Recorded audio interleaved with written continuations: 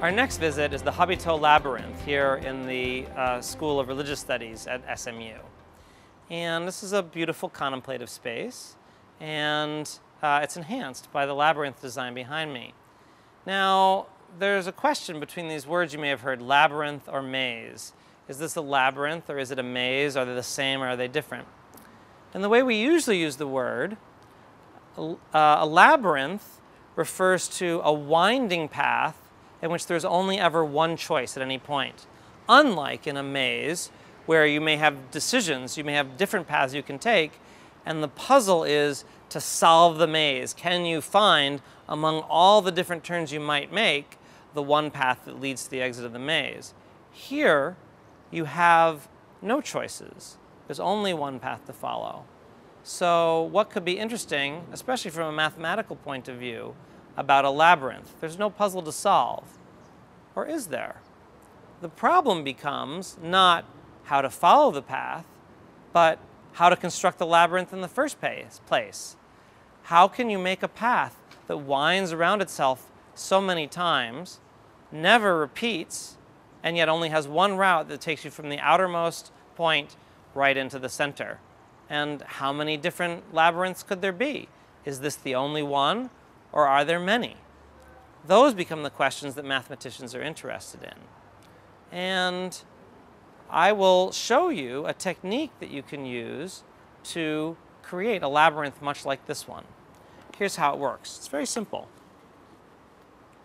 Take a piece of paper. It doesn't have to be graph paper, although it helps a bit. And I want you to draw just a big plus sign just like that. That creates four regions.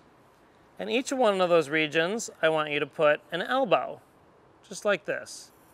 All the same in each one of the four sections. That's a pretty easy pattern to remember.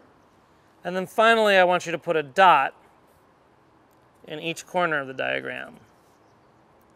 This is called the nucleus of the labyrinth.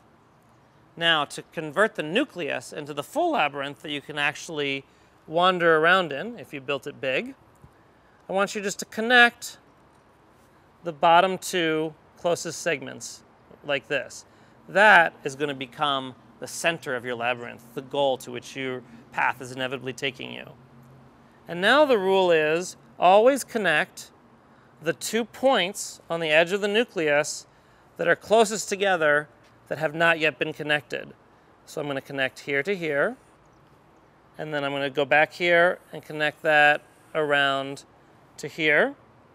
And I'm going to keep going around, always starting at the first unconnected point on the left and ending at the, at the first unconnected point on the right.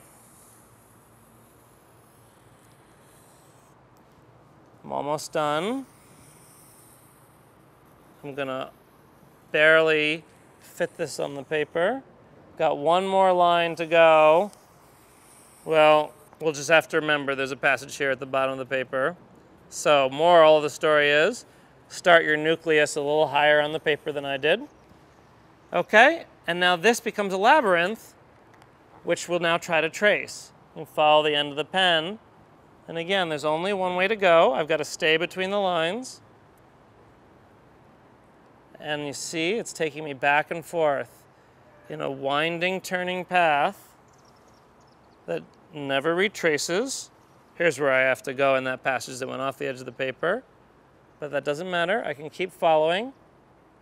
It might seem like I'm not getting anywhere because I keep going back and forth in this meandering fashion but you can see I'm definitely in new territory, and indeed, my one path has taken me to the center of the labyrinth.